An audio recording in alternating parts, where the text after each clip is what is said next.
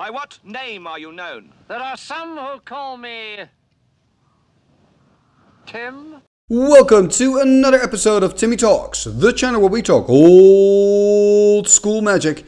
And today we're going to look at a match between Koendert and Baron Nick. And Koendert is playing with a deck called Reprint Tron. It's red and it's white. It's pretty interesting. It's got Tron lands, of course and he's playing against Baron Nick, who's got kind of an Armageddon build, but different. He's called it Pay 8. It's green, it's white, and it's blue.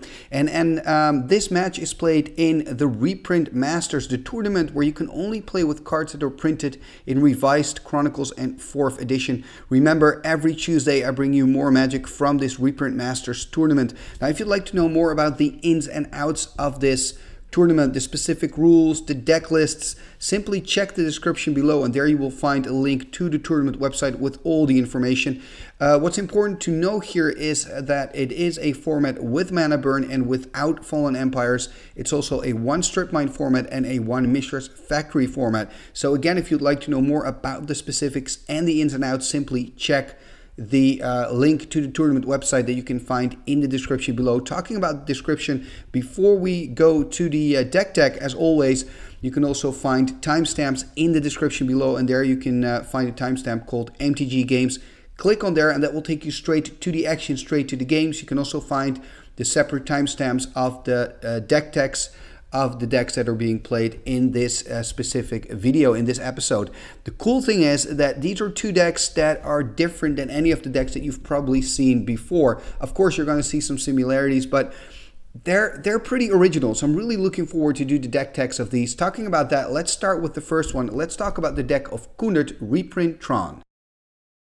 And here we see the deck of Koendert Reprint Tron, and it's such an interesting deck. Now, first off, the colors, right, red and white. And when we look at the white package, uh, we kind of see your standard control, right? Four swords, three disenchants, one divine offering. You see that more now, by the way, when people choose to play instead of a full play set of disenchants, they play three disenchants and one divine offering. I think this is a pretty good strategy because there's usually always an artifact in the deck that you want to get rid of. And those lives that you get from divine offering, that could just be that sweet spot, you know, it just gives you enough space to, you know, live another turn, do another thing. So I think um, think it's nice to include that. So when you're considering playing four disenchants, maybe you could make one of those disenchants a divine offering. And of course, we also see balance in here. And then when we look at the red section, I'm not surprised that Koendert is playing red with Tron. Remember, the Tron lands, uh, the way they work is you've got an Urza's Tower, an Urza's Mine, and Urza's Power Plant, right? If you have all three of them in the game, they start producing extra mana. So normally they just tap for one colorless mana, but when you've got all three, the tower taps for three, the mine and the power plant tap for two each. That means that when you've got Tron, when you've got Tron online, so you've got the three lands in, you have a lot of mana. So if you've got a lot of mana, it goes really well with X spells. So he's playing with two disintegrates and a fireball. He's also playing with a single Atog. Atog, of course, working really well here because this is a artifact heavy deck. And now let's take a look actually at the artifacts. Uh, what we're seeing here are, are a few cards I really like.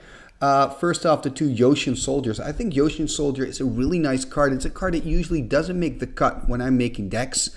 Um, but it is really good. It's got really good stats. It's for three mana. You have a one four, so you've got four toughness. So it can stop Mishra's Factory. It can stop every one drop. It can kill a Savannah Lions.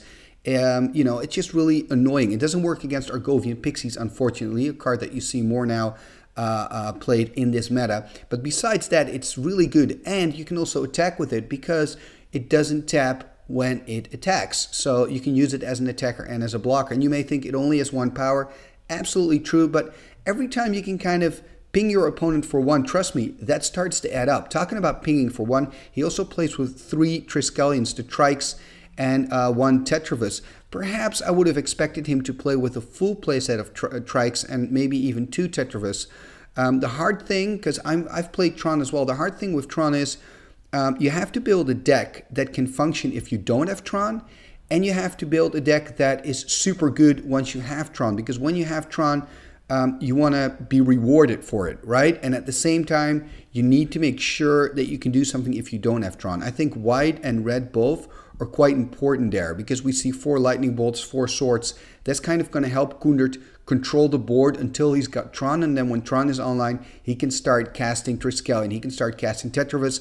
And hopefully, and I'm so hope we're going to see that in this game, he gets to uh, start playing Colossus of Sardia. I'm really excited about that. Another card that I think is really cool in this deck uh, is the Hive. Like the Hive is five to cast, and then you need to pay, I believe, is it another five or four? Anyway, you need to pay lots of mana again, tap it, and all you get in return is a 1 1 flyer. Now, this may seem pretty weak, but actually, in old school, it's not that bad, especially in, from my experience, I can say like Highlander formats, old school Highlander formats where you've got more time, it's even better. But here, in combination with Tron, it could be pretty good. And then we also see another all time favorite of mine, Aladdin's Ring, right? So Aladdin's Ring is just such an epic card. So it's 8 to cast, it's 8 and tap to use. So we're 16 manas in. And you know how much damage you deal for 16 mana? Four damage, four whole points of damage. That's all you get, right? So, I mean, at least it's recurring damage, right? It, once it untaps, you can tap it again. So every turn you can basically deal four damage, which is pretty devastating if you get the Aladdin's Ring online. But I still kind of feel maybe you should have just made it eight damage, for example, you know? Because four damage doesn't even kill some of the creatures that you see a lot in old school, like Shivan Dragon, Mahamoti Djinn. Actually, uh, the opponent, Baron Nick, is playing one Papamoti. So Aladdin's ring isn't even going to kill Mahamoti Djinn.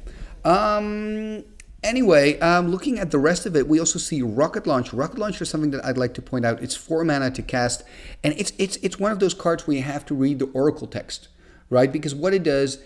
Um, you can pay two and then you can deal one damage, right? Doesn't sound very interesting, but you can do it multiple times. And at the end of the turn, at the end of your end at the beginning of your end step this is the thing at the beginning of your next end step it destroys itself. So let's say you've got 20 mana right that equals 10 damage and that scenario is not unheard of in this deck because he's playing with tron right? So let's say he's got tron online life is perfect then he can use 20 mana deal 10 damage. There is a trick because what he can do is on the end of the end step of his opponent he can activate the rocket launcher deal 10 damage and guess what? The rocket launcher is not destroyed because it is destroyed at the next beginning of the end step. And the beginning of the end step has already been. So he can take his turn again. He can deal another 10 damage, and then his opponent is dead. But even but let's say his opponent is not dead, there's a little miracle. Uh, then he has to wait until the beginning of his end step until his rocket launcher um, destroys itself. So the cool thing with rocket launcher is, according to the new rules and the new Oracle text and all that stuff, you can now use it twice. So you can use it at the end of the end step of your opponent, and then you can use it again in your own turn before it destroys itself. So that's just something I want to tell you because it might be relevant. Um, we pretty much talked about everything. Uh, the sideboard I think those red elemental blasts are definitely going to see play since uh, Baron Nick is playing with a lot of blue. Um, another thing I haven't addressed yet are the three J, uh, Jayemdae tomes. Of course, they're very good in this deck because what if you've got Tron but you don't have the right weapons? The Jayemdae tome is going to help you find those. So I, I understand that he's playing with, with three of those. It, it may sound like a lot, but in this deck, actually, I don't think it is. I think it's a good decision. Okay, so this is the deck of Koendert. Let me know in the comments below what you think of this deck. Have you ever played Tron? I can really recommend it. It's a lot of fun and it's really viable, uh, especially in the Swedish rule set. In other rule sets, for example, with four Strip Mine or where Mishra's Workshop is not restricted, and you can just play four Mishra's Workshops. You don't see a lot of Tron because why would you play it? But especially in the Swedish format and actually this weird reprint masters format, um, it is viable and it's actually a lot of fun to play. So this is the deck of Koendert. Now let's take a look at the deck of his opponent, Baron Nick. And here we see the deck of Baron Nick. So he's called the deck Pay 8, probably referring to the 8 mana casting cost of Mahamoti Djinn. And I think what this deck wants to do is ramp up at the beginning of the game with the 4 Birds of Paradise, the Sol Ring, the 1 Mana Vault, and then just play out bigger creatures like uh, the Erhnam Djinn, the Efreet, and the Serra Angel, and also the Juggernaut all these creatures have pretty good stats, especially for old school. Like Erhnam, um, Erhnam Djinn being a 4-5 for only 4 mana, that's like insane value. And the Efreet, a 3-4 flyer for 3 mana, that's probably even better value, right? And remember, this is the reprint masters, so that means that Baron doesn't have to worry a city in a bottle. Usually city in a bottle is huge when you're playing with too much Arabian Nights, but here in the reprint masters, you cannot play with city in a bottle because it has not been reprinted. It's as simple as that. So when I'm looking at this deck, it looks really powerful, right? So he wants to ramp up, play out big creatures, and then cast an Armageddon wiping the board of all the lands. And then, you know, if, if the opponent doesn't have a bigger creature on the board, he can simply win the game just by that, just by attacking with, for example, the Serendib Efreet that he was able to cast in turn two, or the Erhnam Djinn that he was able to cast in turn three, or also turn two, depending on the ramp that he draws into. Um, now, what else do we see in the deck? What's interesting here is that there's no land tax. The reason I'm saying this is that he is playing with uh, Sylvan Library. Sylvan Library and land tax go together really well. And he's also playing with not one, not two, not three, but a full playset of Ivory Towers. So he's actually got a lot of life gain in this deck. And usually you see land tax in combination with Ivory Tower because land tax allows you to get lands in your hand, right? And that means that you probably have more cards in hand than four, and that means Ivory Tower gets activated and you start gaining life. So I'm, I, I actually like it, Baron, that you've chosen not to include land tax because I'm just really curious to see how the Ivory Towers will hold up because um, you know being able to ramp up and being able to quickly play out your spells and your creatures probably means that you're pretty light uh, with cards on hand in let's say turn three or four if everything goes according to plan and then what is the value of the ivory tower of course after casting your armageddon you know, you will just be refilling your hand again and then you will start gaining life. So I'm just interesting to kind of see how that goes. Another nice thing, of course, is the combination between Sylvan Library and, and Ivory Tower. Sylvan Library allows you to look at the top three cards of your deck, put them in any order, and then you draw a card. But it also allows you to draw an extra card if you want to. You can do that two times, so you can draw two extra cards, but you have to pay four life every time you do that. So you've got to pay eight life if you want to draw two extra cards. Ivory Tower is giving life to Baron Nick. So it's giving him the life, and he can then exchange that life to draw into extra cards. So that's actually quite nice, that synergy between those two cards. So I, I, I really, I do see the potential of that. So um, here we have the deck of Baron We've already looked at the deck of his opponent Koendert. So that means it's time to go to the games. Game number one of the top 16 of the reprint master. So whoever wins this will advance to the top eight. So both of these players um, managed to advance to the top 16 in a 45 player field. And we see Koendert starting with the plateau. And look at that, Baron Nick playing his second dual land there. And that really cool playmat, by the way, Baron. And he's ramping up like I kind of expected with that Birds of Paradise. So now he's got four mana. We're probably going to see a creature that's the Juggernaut. 5-3 artifact creature that has to attack. Quick response by Koendert playing the Swords to Plowshares and pass turn here. So Koendert drawing in and finding a City of Brass. Perhaps a Yotian Soldier. That would be a possibility. Nope, just passing turn here. And tapping five for a Serra Angel. So Baron Nick just has so much firepower in his deck, and he's demonstrating that right now. Really playing out those creatures, going heavy on it. There we see a lightning bolt on the bird. Bolt the bird. It's a classic. Actually, it's not bolt the bird. It's bolt the angel, which is a better option, of course. And then play to disintegrate. Does mean that that Serra Angel is removed from the game together with the other creature because that was plowed. So his graveyard is still empty, but still he's lost two creatures. But look at him go playing even more creatures. There's a Erhnam Djinn, only two cards in hand now. And now we see that Ivory Tower kind of being useless for Baron. On the other hand, I'm sure he's not complaining because now he can swing in with four. And also Koendert has kind of lost three top removal spells already. There we see a Sylvan Library. And his deck is really working on full cylinders. There's a Serendib Efreet, and he can start getting even more um, finding even more creatures next turn with that Sylvan. There's the Yotian Soldier. It's not going to do much though. I mean, he can jump block with it if he wants to. Perhaps he needs to. He is still on 16 at the moment. We see Baron slowly going down as well. He's taking 4 for an extra card. He's going on 16. There's a full attack. Koendert choosing not to block. Koendert's going down to 9 here. And I mean, this is just looking really rough. There's a Brain Geyser refilling his hand. Also, that means that the Ivory Tower is now active. And here we can see that Sylvan Library Ivory Tower synergy where he has to pay life for cards but gains life for cards as well. There we see a Triskelion. So what he can do now potentially is double block the Erhnam.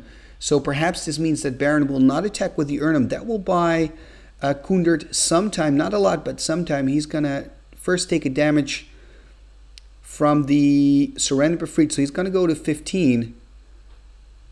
And let's see. Yeah, so he's going to go to 15. Then he's to look at his hand. Gonna look at the top three cards for the Sylvan trigger. And he can... He's gonna also take some life from the tower, I guess. And he's gonna pay some life. So he's he ends up at 13 life, it seems, after all the math is done. Remember, he gains life from the ivory tower, then he pays for extra cards that he wants to get with the Sylvan, but he also has to pay one life for the Serendib. Look at this, playing a lot. Oh, this is pretty much game, isn't it? This is brutal. Playing double Spirit Link on both of his creatures, disenchanting the Triskelion. Triskelion probably going to deal, deal some damage. Going to go to the face. He could have decided to play it on the Erhnam instead, no, that wouldn't have worked, by the way, because Erhnam is toughness 5, so that wouldn't have worked. Okay, no, this is this is the right play from Koendert. Baron Nick is all the way back on 17. I mean, those Spirit Links also work so well with the Sylvan Library. And now Koendert's on 6. Gonna draw some extra cards. And he's gonna pad. That's it. Gonna pass turn. This was a quick game one, and Baron Nick was he was actually playing like a juggernaut. boom, boom, boom, boom. Threat after threat after threat after threat. And you know, Kunder tried to come up with some solutions early game, but just the threats kept on coming. And then the Sylvan, to make matters worse, allowed Baron to kind of draw into more firepower. Wow. Okay, so both of these um, uh, players are going to sideboard, and we'll catch back up with them in game uh, number two. Game number two, and uh, both players still shuffling up here. So let's hope for Kunder that he gets a little bit more time. And uh, yeah, you know, find find the space. At least he can board in uh, his red elemental blast, although that's not going to be so good against Baron Nick. There is a Bolt the Bird. That's a classic move that's been done since 1993, the beginning of the game itself. Bolt the Bird. Of course, a good decision by uh, by Koendert here. He doesn't want to let uh, Baron ramp up. There we see a COP green coming in from the sideboard. That is pretty sweet. It's going to help him against those Erhnams. There is a second bird. Will we see, for example, a Serendib Efreet? Tapping 2 is going to play a COP red. Okay, I don't think actually Koendert minds that much because he's going to use his direct damage on creatures anyway. There's a Jam Tome by Koendert, but he is missing a land drop here. That is not great. There we see Serra Angel. Does he have an answer for this Serra? Perhaps a Swords? I mean, at least Koendert knows now that Baron is playing creature, a creature heavy deck, so he can just board in all everything he has against creatures, right? So he can really focus on just taking out the creatures on Baron's side. Uh, tapping four here, there is the rocket launcher. So he can actually use the rocket launcher to kill both Birds of Paradise if he wants to. I wonder if he does. It also depends if Baron has a land drop here. There we see Disenchant on the Jayemdae Tome and passing turn So this could be interesting for Koendert because basically Baron is saying, I don't have a land because he missed his land drop. So that could make it worthwhile for Koendert. He's playing a Disenchant instead on COP Red. And a Wheel of Fortune. Oh, I love this. Look at that. A White Ward in the hand of Baron Nick. I, I really love seeing cards like, like White Ward being played. It's, it's so cool. And White Ward is not too bad, you know. I mean, everybody plays with plows, right? And a White Ward protection from plows. So let's see what Koendert can do after drawing a fresh 7. He's going to do a land drop and a Fellwar Stone, so he's really ramping up, which is good. It also means that his rocket launcher gets stronger, right? The more mana he has, the better the rocket launcher gets. Baron Nicknow's got a lot of mana, playing a Sol Ring um, as well. And of course his land drop, tapping everything here and there is an Erhnam followed by a Serendib. Now remember, the Erhnam is not as scary for Koendert because of the COP green. So the biggest problem right now for him is the Serendib. He is still on 19. There is a red Elemental Blast on the Serendib so that's actually quite nice. Tapping, 4, tapping, 5, 6 here for a Tetravus 4-4 flyer. Things are kind of looking up for Koendert here. And uh, he's doing really well so far. But of course, Baron has a full hand still. And there we see a Sylvan Library. So now it's up for Koendert to try to deal some damage for Baron. Because remember, life is now cards because of that Sylvan. Attacking here, paying one to the COP green. So this is... I'm not sure if it is a mistake. And there we see Koendert taking off the counter. So that means he gets three Tetravites, 1-1 flying creatures. They do have summoning sickness right now. So he cannot attack with them. That's the only downside when you take off the counters. But of course, starting next turn, he can attack with his Armada. For now, he can still attack with the Tetravus, which is now a 1-1. And that's exactly what he does. Also animating the Mishra's Factory. That means Baron is going to drop to 21. I wonder if he's going to use the Sylvan. Still has more than enough life. Looking at the top three cards, going to make decisions here. Is he getting all three? I believe he's getting all three. He is. He's going to go down to 13. He is ballsy, playing an Ivory Tower. And you know what, Nick? I expected this from you, man, to take the risk. That's just the kind of player you are. There we see a Divine Offering on the Ivory Tower. I think this is a very important move for Koendert here because Ivory Tower Sylvan Library with the life gain, the life get drawing cards machines, it's very dangerous. He was seeing an attack four for four points. Nick is taking the damage, gonna drop to nine now. And what else can he do? Maybe a Triskelion taking out the birds. Ooh, he's tapping a lot. Colossus of Sardia. Oh, disintegrates. Is this game already? Swords on his own creature, so he's to gain. To go back to 13, going to take 9, so he's on 4 now. That Swords to Plowshares has, has kind of saved his life here. And Koendert, you're so close. And that's it. That's victory. Game number two for Koendert here. And man, that was an interesting game too. Really nice to see. And here you can see the impact of sideboarding, right? After sideboarding, you know the strategy of the other player.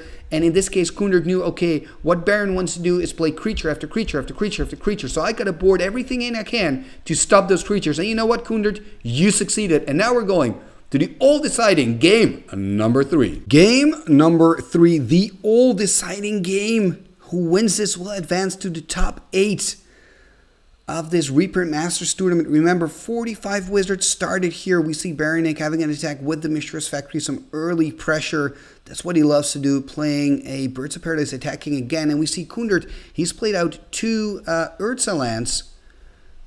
And, oh, he's stuck on land. He's just passing turn. This is brutal. Oh, no, not like this. Not like this. But I'm sure Baron's like, okay, I can make top eight here. He's playing a Juggernaut, and Koendert really needs something. Okay, at least the planes. Does he have Disenchant or Swords? They are instant, so of course he doesn't have to play them already. Remember, Baron has to attack with the Juggernaut, so we'll know soon enough if Koendert has an answer for this. He's now still on 16, so, you know, if he just starts drawing into lands, having answers to the creature threats, he's okay. Attacking here with the Jugger. There we see. This is actually quite nice. Divine Offering means he gains 4 life as well. He goes back to 20. There we see another Juggernaut with a white ward on it. Ooh, that is difficult. How cool is to see this white ward, by the way, but a Lightning Bolt. This is why white ward isn't played that often. But it was a really cool play, Baron, because remember, White Ward protects a creature from white, so that includes Disenchant and Swords to Plowshares. Unfortunately for Baron, Koendert had a, uh, a Lightning Bolt. There we also see a Plow on the Mishra's factory. So Koendert's actually pretty successful in stabilizing the board, and he plays a clay statue 3-1, and for 2 you can regenerate it, but a quick divine offering from Baron, gaining 3 life as well. He's now already on 26. That means if he draws into one of his Sylvans, he can start drawing cards. It looks like Baron is having a bit of a mana issue. There we see Urza's Tower. I believe what Koendert now needs is an Urza's Mine to have Tron online. He's playing another clay statue and ooh, there was a really quick Armageddon. It was hard to see, but this was an Armageddon. There we see the attack by the statue. Baron going to 23. And he's playing a Spirit Link on the clay statue and a Savannah in passing turn here. So Baron Nick apparently has a lot of lands now. Or, or not, both players now top decking. Waiting to find something to do. There's a Sylvan. Things are really looking up now for Baron. Very swingy game, and those are usually the good games. And tapping four. There is an Erhnam. Can Koendert find land? He really needs to find land now. Oh man, remember, Erhnam is 4-5, so it doesn't really mind that the clay statue has 3 power. That's not going to hurt. There we see Baron taking lots of extra cards because he's got the life. He doesn't he doesn't mind. He's still on 19 after taking the extra card. Attacking here Koendert falling to 16. There we see a Juggernaut. Koendert now really needs land. You need land. Oh man, discarding another card. And Koendert really dying to that Armageddon here because before the Armageddon, he he had he had things in business, man. He had stabilized the board. He'd gotten back from that early aggression from Baron. To make matters worse, there we see the um, swords to plowshares and the attack. Nine damage here done by Baron. Koendert dropping to 10. And that's it. Oh man, Koendert man, this is salty. This is salty. but Baron man, I mean, it's part of what your deck wants to do. He's playing with Armageddons. He wants to use them at the right time. That's exactly what you did. Um, Man, but this was a very interesting matchup, and I would like to thank you both for bringing these cool decks to the tournament and um, and recording your matches here so I can make a match video out of it. Really, really brilliant. Thank you both for playing. Uh, Baron, it was really nice to see White Ward in action. I think it's the first time that White Ward is here on Timmy Talk, so that's a new card introduced here on the channel, and that always feels good, you know, when a new card you know, gets a moment, a new old card, I should say, always feels good. So now we're taking a look at the deck of the winner, Baron Nick, pay eight. You will advance to the um, to the top eight of this tournament. And who knows, maybe we'll see you again in a top eight next week because next week, Tuesday, I'll bring you more magic from the Reprint Master. So if you like this tournament, if you like what you see, man, come back next week, Tuesday. I have another Reprint Masters video for you. For now, thank you for watching. And if you want to help the channel out, there are actually three things that you can do that are completely free, but really help the channel grow. The first thing is you can hit that thumbs up, hit that like button. That really helps a lot. Another thing that you can do is you can leave a comment here in the comment section. Whatever, man, it all helps the YouTube algorithm. And of course, if you have any questions about the games, feel free to post your questions down below. I'll try to answer them, and I can also ask the players to answer them. So if you have questions about the deck or about decisions in the game, ask them, be my guest. The third thing that you can do, if you're new here, welcome. Uh, you're probably not a subscriber yet. So what you can do is hit that subscribe button. The more subscribers Timmy Talks has, um, the bigger it is according to YouTube and the more my videos will show turn up in other people's YouTube feeds. So if you want to help the channel, those are the three things you can do completely for free. And then there's another thing you can do. You can become a patron of the channel, just like Baron and Koendert. And the cool thing is, if you become a patron, you can actually join the Timmy Talks tournaments. I organize tournaments every like two months, sometimes three months.